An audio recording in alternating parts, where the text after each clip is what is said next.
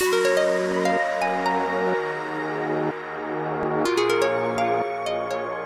guys, I'm Varun and the recipe that I'm showing you guys is synonymous to Indian festivities. It is the boondi ka laddu that we have almost every time at any occasion.